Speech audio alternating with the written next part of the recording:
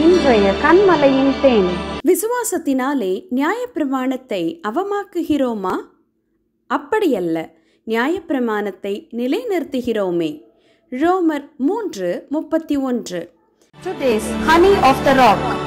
Do we then make void the law through faith? God forbid. Yeah, we establish the law. Romans 3:31.